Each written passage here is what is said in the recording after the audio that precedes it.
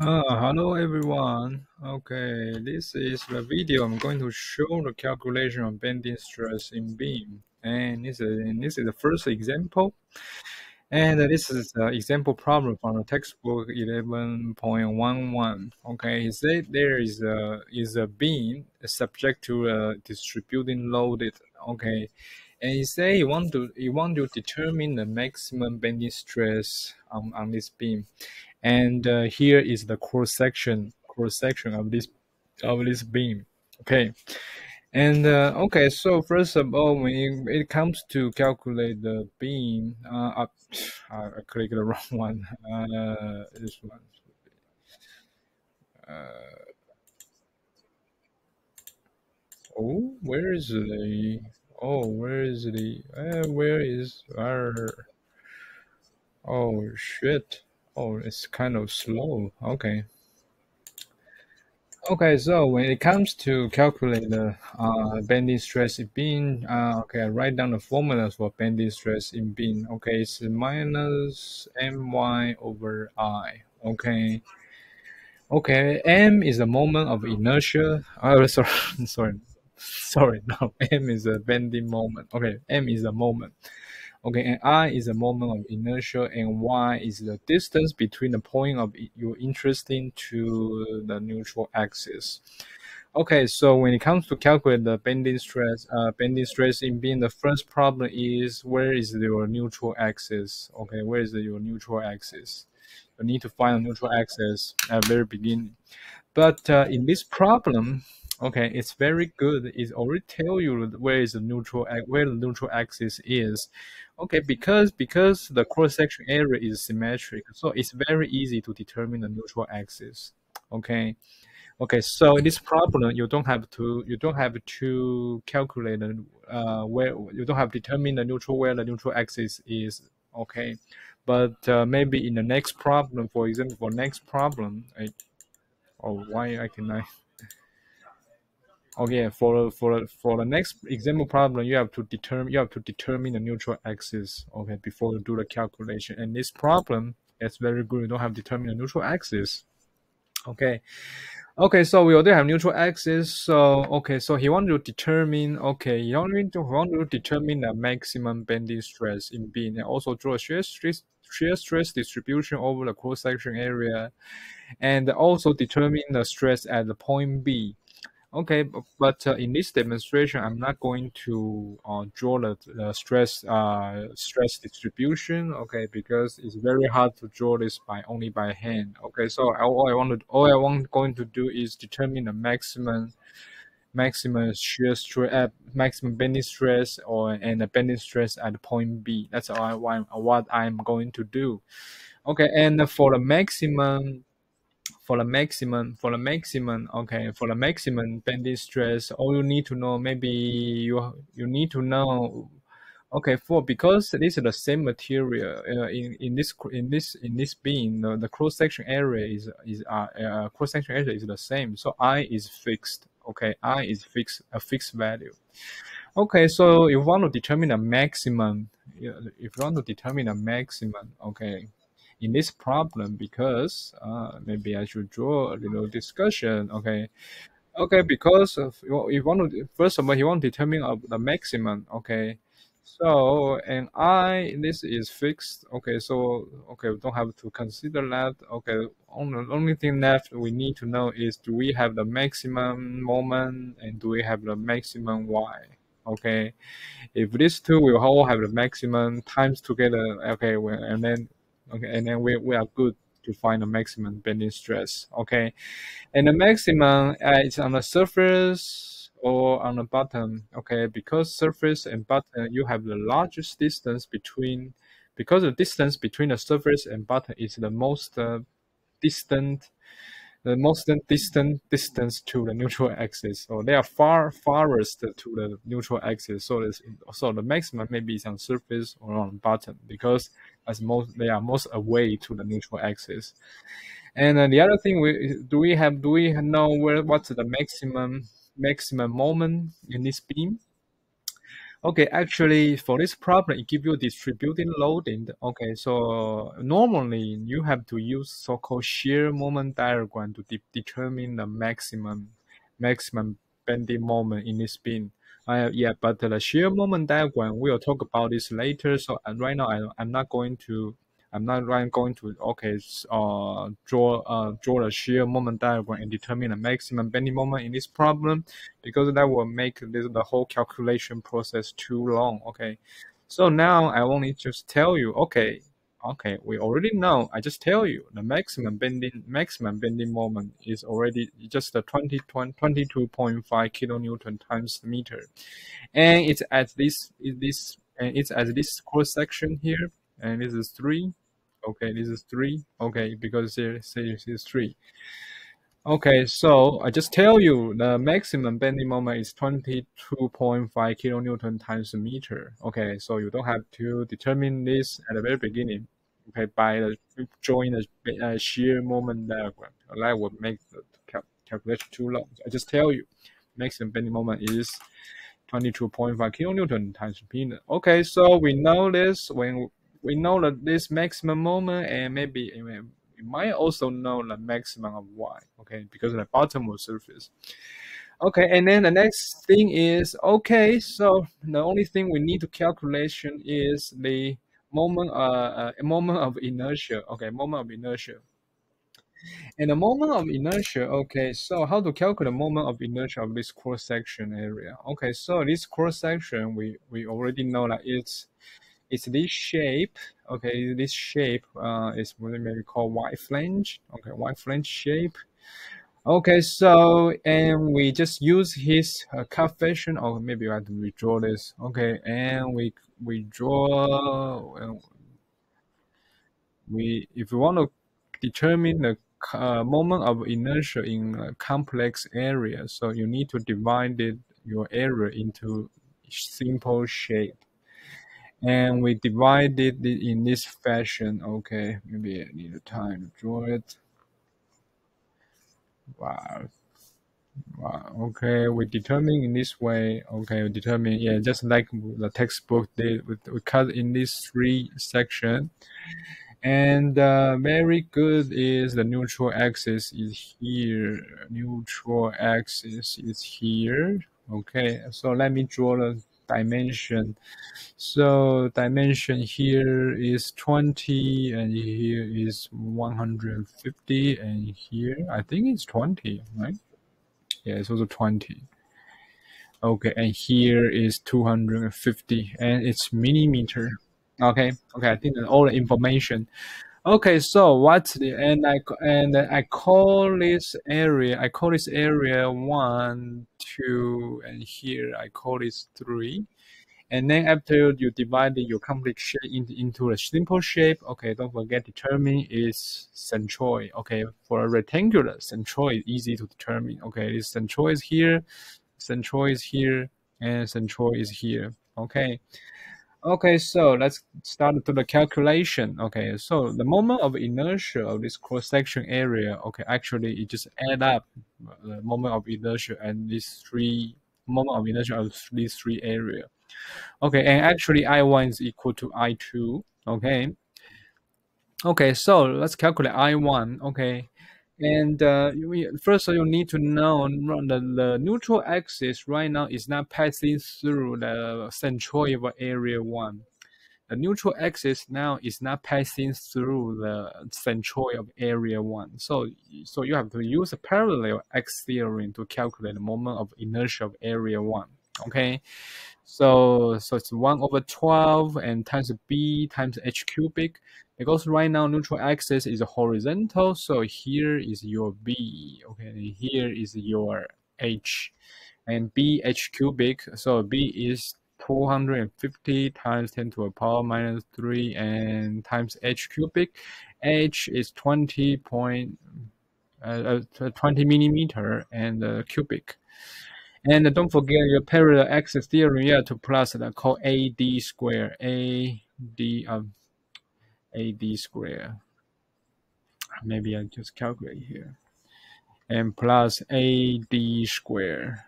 AD square A is the area of area 1, okay?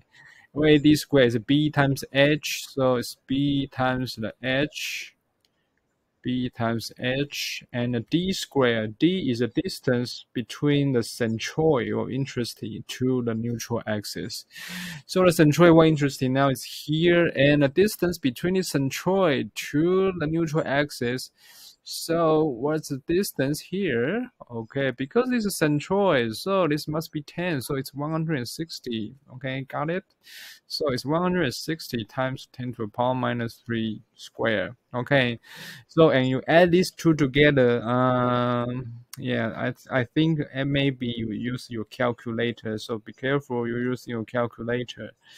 I think oh, I just write down the answer for you. So it's equal to 1.67 times 10 to the power minus 7 plus 1.28 times 10 to the power minus 4.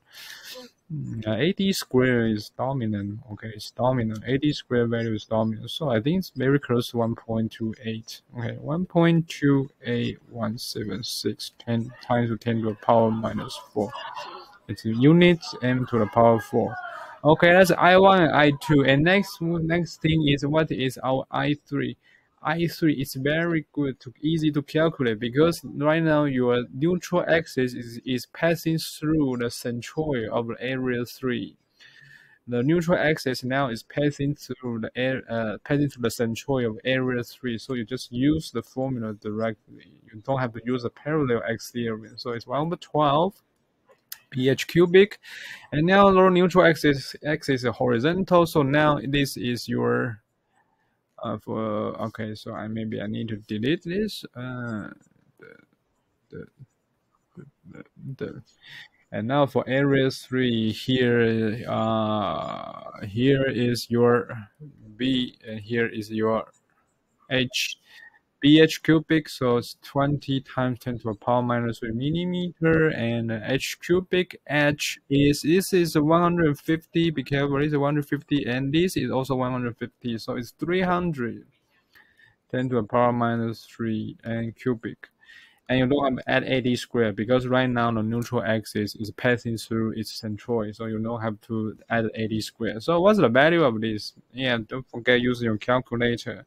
Uh, let me see what's the value. Okay, I think is 4.5 times 10 to the power minus 5 and your unit is m to the power 4 okay so we we have the i1 and i2 and i3 so just add them together. So i equal to i1 plus i2 plus i3 uh, right now i don't have space so maybe i just clear here. Okay.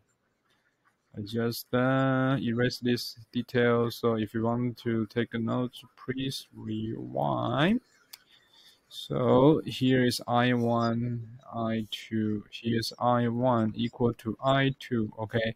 So 2 times I1 plus I3. So what's the final value is? Uh, let's see.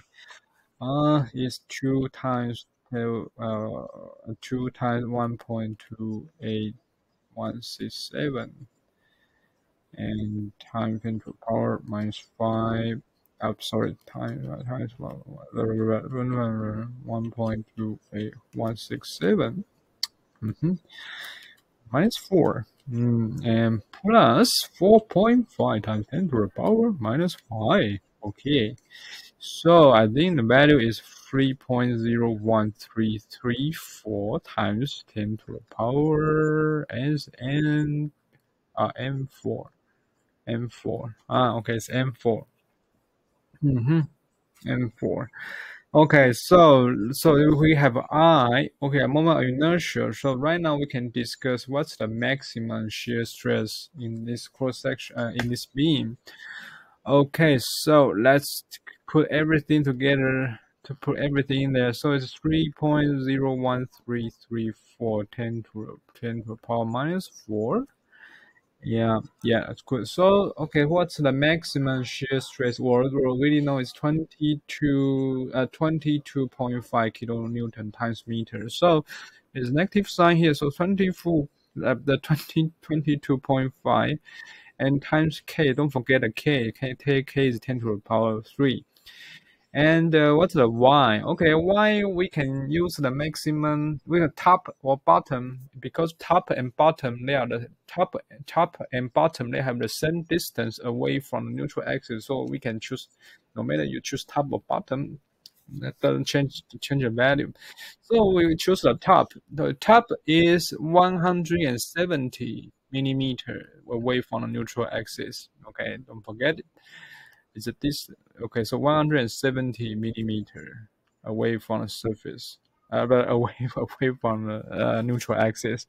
So let us determine the value. Oh okay uh, value is um 20 and uh, divided by 3.01334 Okay, so it's a minus, mm, here is one one two six nine point three five five six and times to a power 4 okay and let's do some uh, so it's equal to minus 20 to 1 point, point six nine mega pascal okay 10 to 10 to divided by 2 okay so so the maximum is 12.69 megapascal. I think that's yeah that's the answer. Maximum is here maximum here Okay, okay, that's maximum. So we have negative value here, negative value, that just means it's compression. Okay, that means just means compression. But we, we, we just want to know its maximum value. So we don't care it's compression or its, tensile, okay? And so this is the maximum bending stress in this beam. And he also want to also determine at least the same cross section here, what's the, the stress at stress at point B. Okay, so stress at point B here. And uh, in the previous line, we already tell you, okay, the, the bending stress is linear, it's linear with, it's linear. Okay, bending stress, yeah, okay, we, uh, we just here Bending stress has a linear relationship between the distance, uh, a linear relationship with with the y, and y is a, is a distance, a point of interest, the distance between the point of interest and the neutral axis. Okay, so we know at the top, at the top, okay, y max is equal to 170 millimeter and the point of interest in, we are interested in now is here, B is 150 millimeter and it's a linear relationship. So we just put our value. The shear stress as B is actually, you, if you put your maximum value and times, times it's linear because it's linear relationship. Okay, so what's the value? It's just uh, uh, divided 70 and times 12.69 so it's 11.2 okay? It's minus 11.2 and it's megapascal because it's a linear relationship. The shear stress and the and y the linear relationship and they subject to the same bending moment and the same moment inertia. So you don't have to recalculate using this equation to recalculate again. your maximum value and times and use a linear relationship and you can determine the shear stress at this point B. Okay. Okay, and then you will find if your C C is zero. Okay, C is zero is because it's because linear relationship. Okay, C is zero. Shear stress as C is equal to zero. Okay, Okay, because see here, the distance between C and neutral axis is zero. So the shear, the bend, so because if the C is at the neutral axis, so there, there's no bend, it, it doesn't feel any bending stress as you don't feel any bend, the beam doesn't, C, the C point doesn't feel any bending stress because it's on the neutral axis. Neutral axis doesn't feel any bending, okay? Okay, so that's a problem for this problem. Okay, so if you want to know what the the the stress uh, the bending stress distribution, what bending stress distribution looks like, okay, there's a next slide here. Okay, you can see it. Okay, I provide this picture for you. This is just bending stress distribution looks like. Okay, if you want to, I just for your reference, but in this problem, I just want to know how to calculate bending stress. Okay, so I just start video here. I'll see you in another video. Okay, bye bye. Um,